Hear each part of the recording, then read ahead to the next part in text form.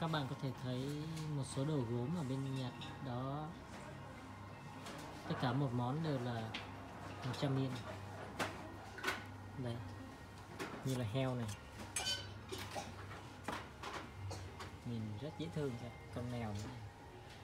hay con chó.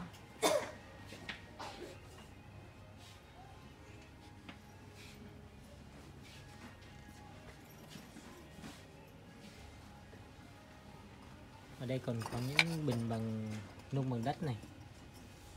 Nhìn rất màu sắc rất rất là đẹp.